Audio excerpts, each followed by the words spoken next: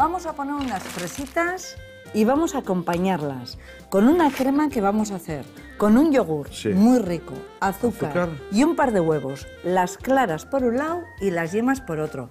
Y luego cuando ya lo metamos todo al horno, le pondremos un poco de sésamo caramelizado. Ah, muy bien. Aquí en el grande las claras, así. Mira, con mucho cuidado. Las yemas al pequeño. Siempre, siempre, siempre que esté la clara súper limpia, porque si le cae una gotita de yema, Ya no, no, ya no monta. No monta bien.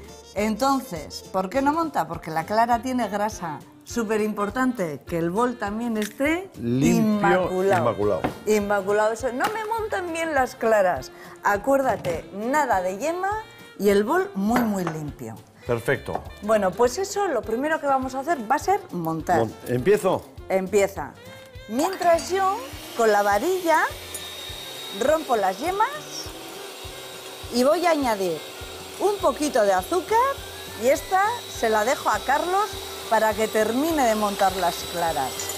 Y le voy a añadir un yogur natural. Y así, lo del lácteo de cada día, cubrimos. Eso es. Son cosas que tenemos en casa. Abres el frigorífico, ahí están los yogures. Siempre preparaos. Bueno, eso ya está. Nos vamos con las fresas. Las fresas bien lavadas. Ya sabéis que la fresa hay que lavarla muy, muy bien y siempre antes de quitar aquí la parte verde, porque si no tienen capacidad de chupar agua y no nos interesa. Bueno, Carlos, ahora las claras Sí, dime.